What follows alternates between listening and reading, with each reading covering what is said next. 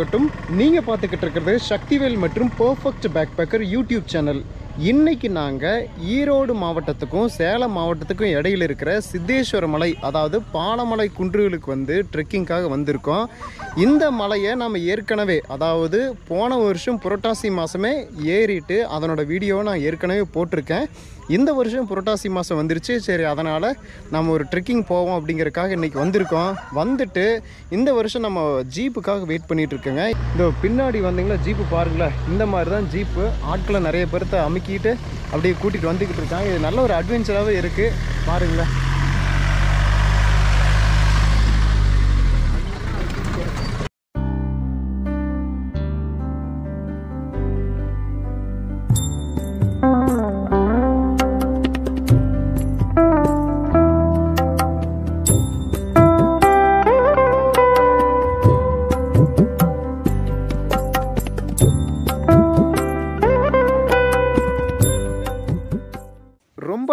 காத்திருத்தலுக்கு பிறகு நம்மளுக்கான வண்டி வந்துருச்சு. நாமளும் நம்மளுடைய நண்பர் சிவகுமாரும் வண்டியில் ஏறி ஒரு சீட்டை போட்டு உட்காந்தாச்சு வண்டி தன்னுடைய பயணத்தை ஆரம்பித்து அப்படியே காட்டு பாதையில் குண்டும் அப்படியே ஏறி இறங்கி ஊர்ந்து போய்கிட்டு இருக்கு. வாங்க நம்மளுடைய பயணத்தை தொடர்ந்து போயிட்டு இருப்போம்.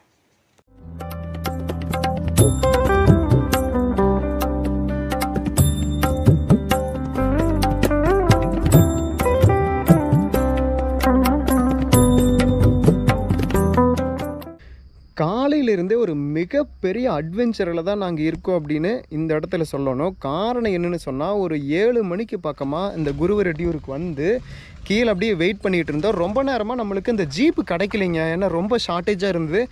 எல்லா ஜீப்புமே கீழே இருந்து ஆட்களை ஏற்றிட்டு மேலே போயிட்டு அங்கே ரொம்ப நேரம் வெயிட் பண்ண வேண்டியதாக இருந்தது. அதனால் நம்மளுக்கு ரொம்ப ஷார்ட்டேஜ் ஆகி கிட்டத்தட்ட ஒரு ஒம்போதரை பத்து மணிக்கு தான் நம்மளுக்கு ஜீப்பு கிடச்சிது.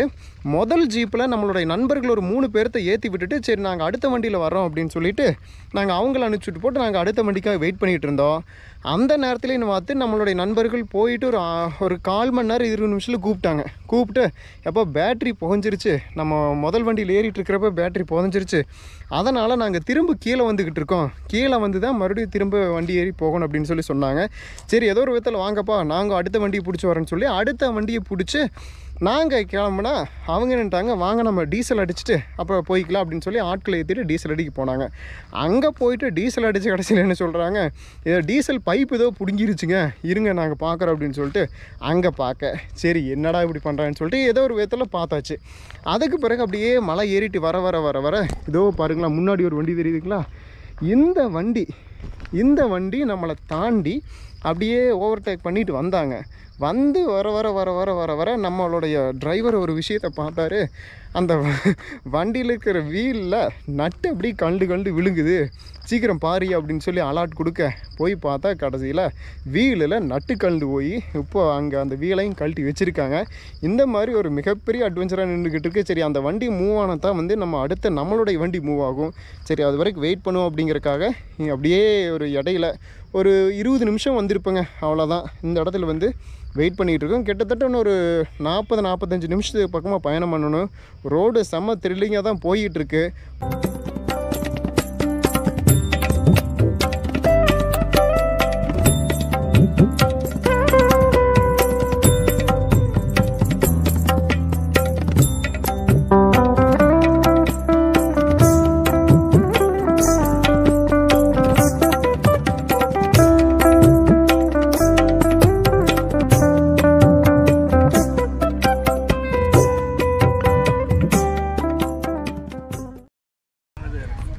பார்த்தீங்கன்னு சொன்னால் சரியாக பன்னெண்டு மணி நாற்பது நிமிஷம். இப்போ தான் நம்ம இந்த கடைசி மலைக்கும் முந்தின மலையினுடைய அடிவாரத்தில் வந்து வண்டி விட்டு இறங்கியிருக்கோம். இனி வந்து நம்மளுடைய ட்ரெக்கிங் ஆரம்பிக்கணும்.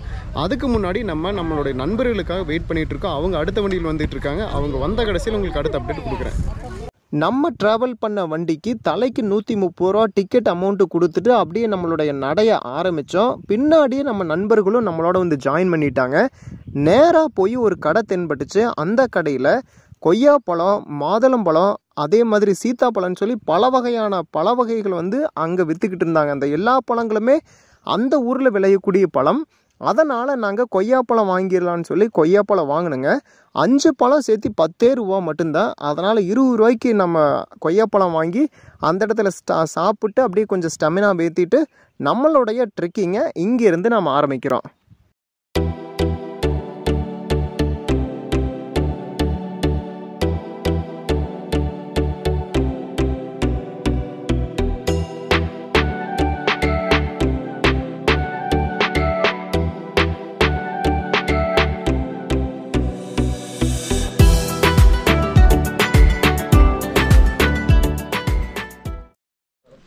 நம்மளோட நண்பர்கள் வந்து அப்படியே ஜாலியாக பேசிக்கிட்டு அப்படியே ஒரே லைன் பிடிச்சி இந்த கேப்டன் பிரபாகரன் படத்தில் ஆட்டமாக தேரோட்டமான்னு சொல்லி ஒரு பாட்டு வரும் இல்லைங்களா? அந்த பாட்டில் எப்படி அப்படியே நெத்தி பேட்டரியெல்லாம் போட்டுட்டு அப்படியே லைனாக காட்டுக்குள்ளே நடந்து போவாங்களோ அந்த மாதிரி காட்டுக்குள்ளே இதோ நம்ம நண்பர்கள் லைனாக நடந்து போகிறாங்க அவங்களும் அந்த நான் ஃப்ரண்ட் வியூவில் இருந்து காமிக்கிறேன். அப்போ தான் இன்னும் நல்லா ஜோக்காக இருக்கும்.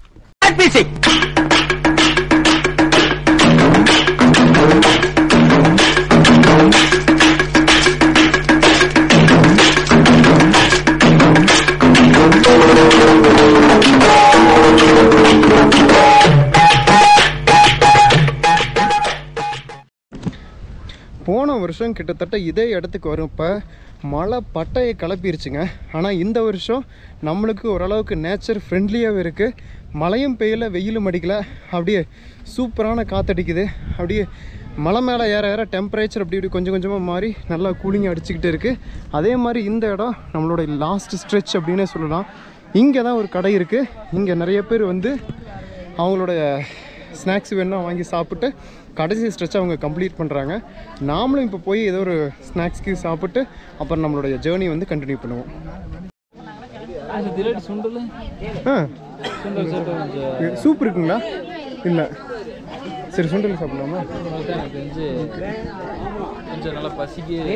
சரி சுண்டல் கொடுங்க.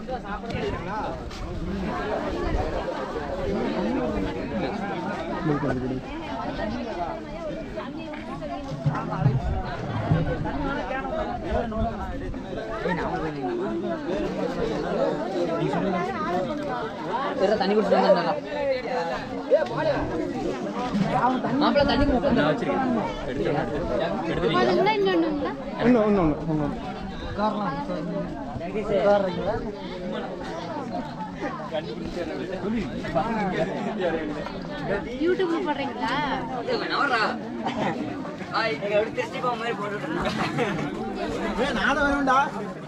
அதுக்காக காட்டணும்னா கட்டோடி இப்போ நாம் ஒரு முக்கியமான ஸ்ட்ரெச்சில் ஏறிட்டு இருக்கோம் அப்படியே டேப்பராக வந்துக்கிட்டு இருந்த இந்த மலையோட பாதை இந்த இடத்துலேருந்து அப்படியே நேராக மேலே போகிறக்கு ஆரம்பிக்குது. அதே மாதிரி பின்னாடி நம்மளுக்கு தெரியுதுங்களா? அந்த கடை. அந்த கடையில் போயிட்டு அப்படியே கொஞ்சம் நம்ம ஸ்டெமினா வேத்தும் அப்படிங்கறக்காக சுண்டல் கொடுத்துக்கிட்டு இருந்தாங்க. சுண்டல் வாங்கி சாப்பிட்டு அப்படியே நண்பர்கள் வந்து பஜ்ஜி சாப்பிட்டாங்க. சரி நம்ம பஜ்ஜி சாப்பிட்டா அப்புறம் கொஞ்சம் இந்த ட்ரெக்கிங்கில் ஆயில் ஐட்டம் வேண்டாம் அப்படிங்கிற காரணத்துக்காக பஜ்ஜியை குறைச்சிட்டு லைட்டாக ஒரு சின்ன பீஸ் மட்டும் சாப்பிட்டு இப்போலோட நம்மளுடைய அடுத்த ஸ்ட்ரெச்சை ஆரம்பிச்சாச்சு.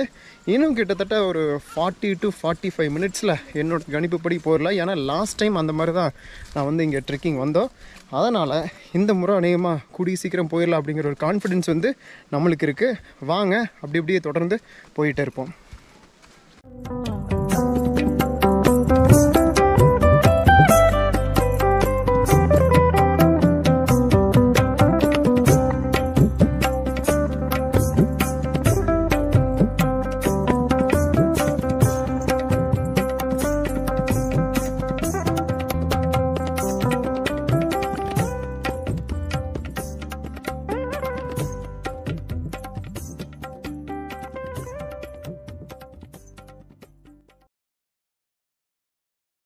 நீங்கள் எப்போ மலை ஏறினாலும் கூட ஆரஞ்சு பழமோ இல்லை எலுமிச்சம்பழமோ பழமோ வச்சுக்குங்க.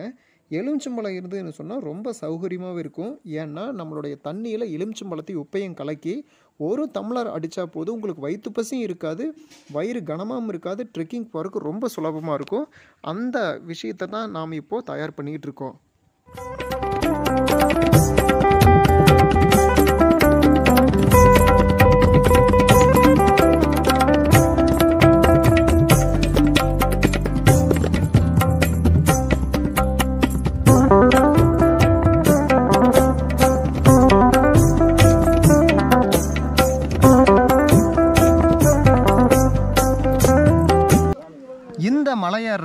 உங்களுக்கு ஒரு இன்ட்ரெஸ்ட் இருக்குன்னா ஒரு சின்ன சஜஷன் கொடுக்குறேன். முடிஞ்ச அளவுக்கு நீங்கள் நடந்தே வர பாருங்க. கீழே குருவரெட்டியூர்லேருந்து மேலே வரைக்குமே முடிஞ்ச அளவுக்கு நடந்து வர பாருங்க. ஏன்னா ஜீப் நல்லா தான் இருக்குது சூப்பராக செம்ம அட்வென்ச்சராக இருக்குது ஆனால் உங்களோட மைண்டை நீங்கள் ப்ரிப்பேர் பண்ணி வச்சுக்கணும். எந்த நேரத்தில் வேணால் எந்த ஜீப் வேணால் பிரேக் டவுன் ஆகும். ஒரே ஜீப்பு ரெண்டு மூணு டைம் கூட பிரேக் டவுன் ஆகிறதுக்கான சான்சஸ் இருக்குது அதனால் இந்த மலைக்கு வரும்போது தயவு செஞ்சு ஒரு டைமிங் ஃபிக்ஸ் பண்ணி எப்பவுமே வர வேண்டாம். டைமிங் ஃபிக்ஸ் பண்ணாமல் ஒரு ஃப்ரீ மைண்டோட வந்தீங்கன்னா சொன்னால் இதை நல்லா சூப்பராக என்ஜாய் பண்ணலாம். இல்லை அப்படி வேண்டாம் ஜீப் அட்வென்ச்சர் வேண்டாம் நான் கொஞ்சம் வேறு மாதிரி லெவலில் அட்வென்ச்சர் யோசிக்கிறேன் அப்படின்னு சொன்னால் நீங்கள் வந்து தாராளமாக ட்ரெக்கிங் வர பண்ணலாம். கீழே குருவிரெடியூர்லேருந்து மேலே வரைக்குமே ட்ரெக்கிங் பண்ணலாம். அது இன்னும் ஒரு அட்வென்ச்சராகவும் ஒரு நல்லா டீப் ஃபாரஸ்ட்டுக்குள்ளே போகும். அதனால் இந்த ஒரு பாயிண்ட்டை உங்களோட மைண்டில் நல்லா ஞாபகத்தில் வச்சுக்கோங்க. அடுத்து நாம் சித்தேஸ்வர் மலையுடைய ஃபைனல் ஸ்ட்ரெச் அதே மாதிரி ஒரு முக்கியமான ஸ்ட்ரெச்சான இந்த டீப் வேலிக்கான இந்த லொக்கேஷன் வந்தாச்சு. இது உண்மையாகவே எல்லாத்துக்குமே ஒரு நடுங்க வைக்கக்கூடிய ஒரு அனுபவத்தை தரக்கூடிய இந்த இடத்துல தான் இப்போ நாங்கள் ட்ரெக் பண்ணிகிட்ருக்கோம் இன்றைக்கி மழை பெய்யல வெயிலும் அடிக்கல அப்படியே வானம் மேகமூட்டத்துடன் காணப்படுவதால் நம்மளுக்கு ஒரு ரொம்ப ஃப்ரெண்ட்லியாகவே இருக்குது இந்த ட்ரெக்கிங் ரொம்ப ஒரு ஹாப்பியான ட்ரெக்கிங்காக தான் போய்கிட்டு இருக்கு அப்படிங்கிறத இந்த இடத்துல நான் பதிவு பண்ணிக்க ஆசைப்படுறேன்.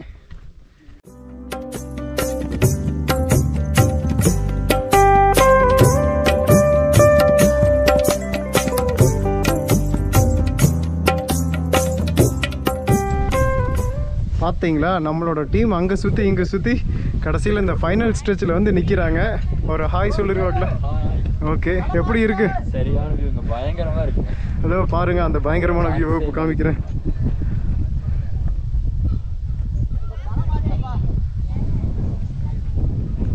அவனோட அடுத்த டீம் மெம்பர் இப்போ அப்படியே வாயில புகை வரலாம் நடந்துக்கிட்டு இருக்காரு. அங்கே பாருங்களேன் யாரோ ஒருத்தர் அப்படியே ஷார்ட்ஸுக்கு வீடியோ போட்டுக்கிட்டு இருக்காங்க. நல்லா தான் இருக்கு.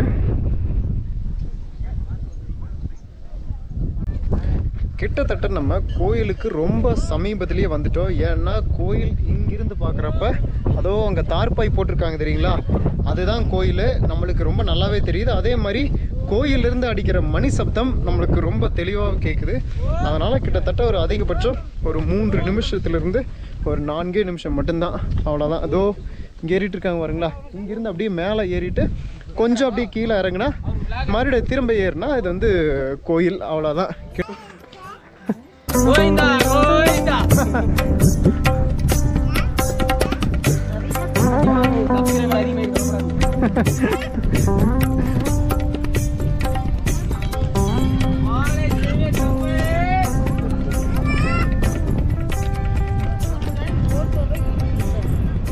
காற்று சும்மா பட்டையை அடிக்குதுங்க இந்த இடத்துல. உங்களுக்கே வந்து நம்மளோட ஆடியோ ரொம்ப கிளாரிட்டியாக கேட்குமான்னு தெரியல. நல்ல காற்று நான் இந்த இடத்துல ரொம்ப கேர்ஃபுல்லாக தான் இறங்கணும். ஏன்னா முழுசாக இந்த பக்கம் அப்படியே பள்ளத்தாக்காக தான் இருக்குது பாருங்களேன். நெட்டு குத்தலான்னு ஒரு பள்ளத்தாக்கு. அதனால் நம்ம வீடியோ எடுக்கிறதுல கான்சென்ட்ரேட் பண்ணணும்னு சொன்னால் அப்புறம் நடக்கிறதுல கான்சென்ட்ரேட் பண்ண முடியாது. அதனால் நான் நடக்கிறதுல மட்டும் கான்சென்ட்ரேட்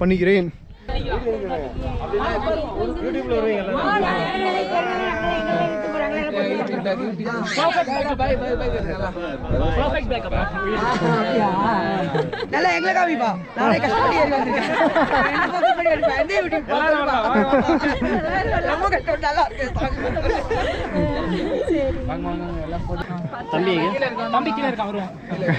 கடைசியாக கோயிலுக்கு வந்தோடனே போன வருஷம் மாதிரி இந்த வருஷம் செம ஃபன்னு ஒரு பெரிய டீம் இங்கே வந்து நம்மளை ஒரு பெரிய ஒரு வரவேற்பு கொடுத்துட்டாங்க.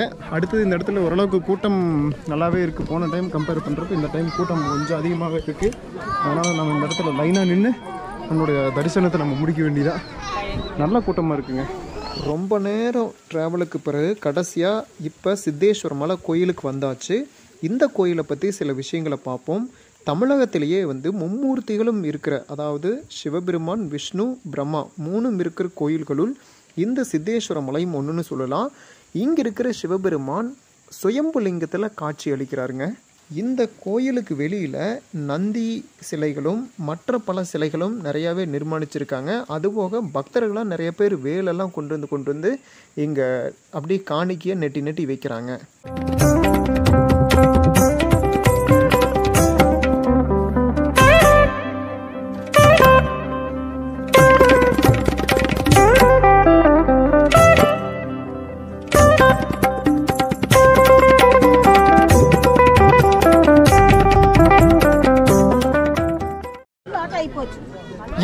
டைம் சரியாக நாலு மணி இருபது நிமிஷம்.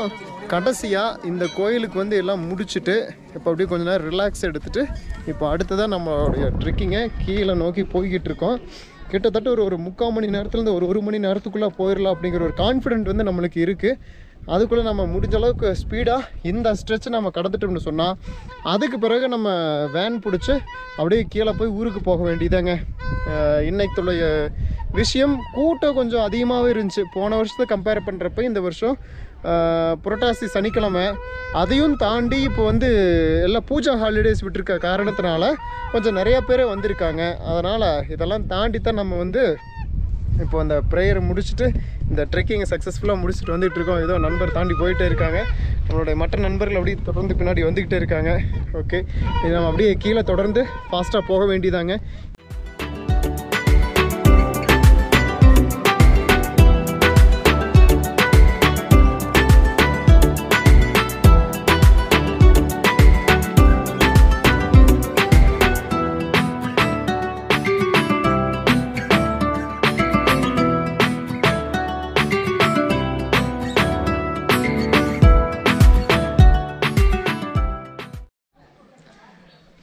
டைம் இப்போ சரியாக நாலு ஐம்பத்தி நாலுங்க.